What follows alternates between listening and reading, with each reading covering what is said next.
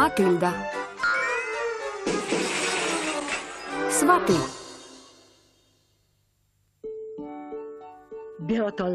Было гэта сёлета ў красавіку. Я пайшла ў лес нарваць крапівы для крапіўнага шпінату маёй улюбёнай стравы.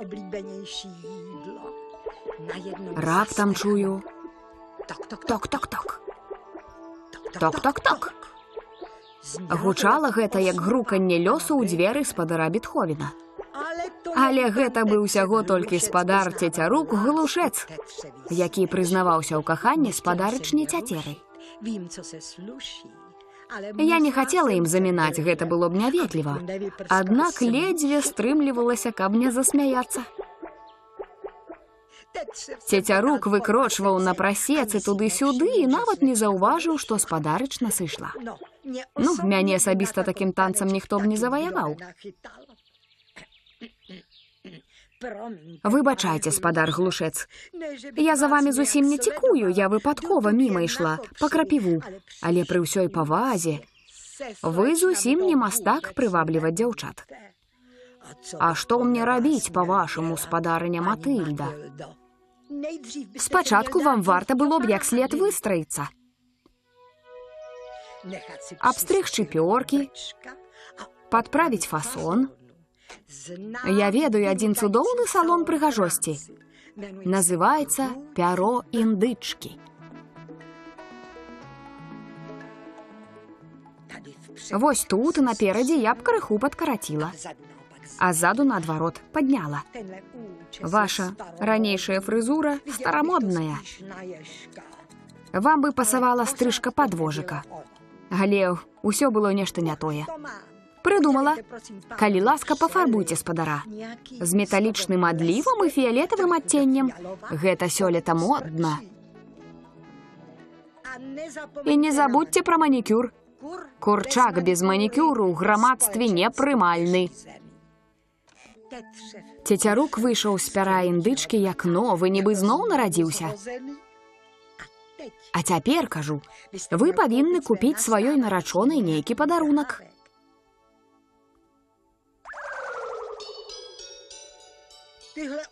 Гэтыя звычайныя пярсцёнкі. Іх не бярыце, іх усім курам на ногі надзяваюць. Нельга эканоміць на сваёй нявесце. Потым я завяла яго ў эксклюзіўную рэстарацыю за букам. Чароўнае месца для сватання. На прасецы заляцаюцца толькі студэнты. Я паклікала спадарычну сароку і замовіла дзве шклянкі ліманаду.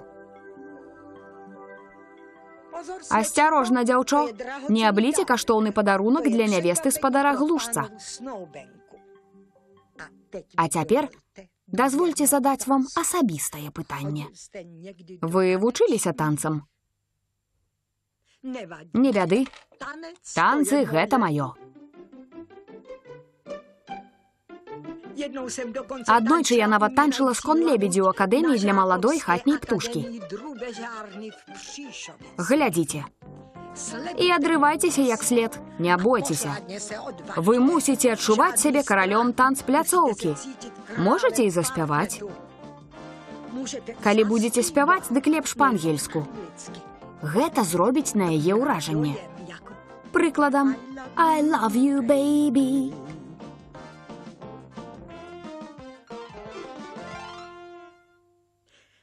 Пакуль трэніруйцеся, я паклічу вашу дзяўчыну. А потым глядзіце, каб паказалі клас. Дзяўчына была непадалёк. Не прыкідвайцеся. Я ведаю, што вы шукаеце спадара глушца. Ён чакае вас у рэстарацыі за букам. Здавалася, ўсё ідзе як намазаных колах. Толькі цяцера з'явілася, цецяру кінуўся да яе.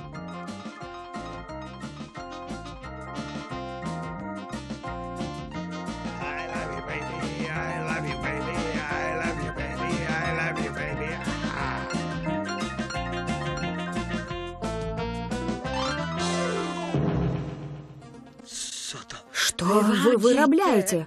Жахнулася цяцера.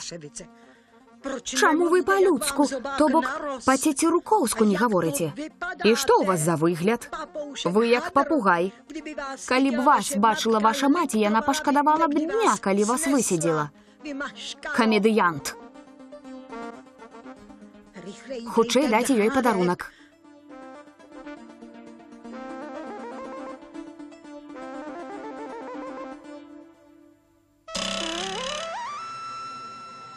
Вы, вы хуліган. З мяне хопіць. Пайду за першага цецерука, які да мяне затакуе.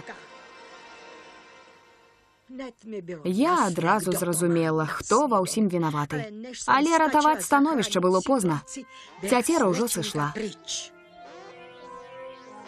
Гэта канец. Заламаў крылы цецярук. Я хацела яго суцешыць. Такіх дурных цяцер у вас яшчэ цэлы статак будзе. Перастаньце ўжо даваць мне парады. Варона вы. Ідзіце сваёй дарогай. Я нікому навязвацца не збіраюся.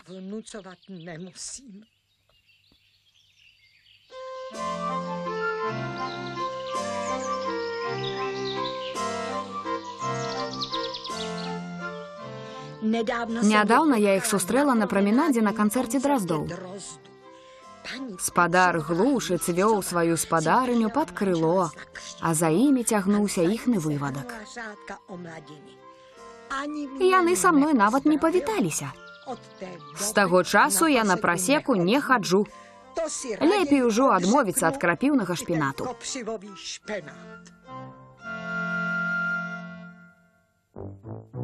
Пераклад Макс Шчур. Тэкст чытала Руся Шукюрова.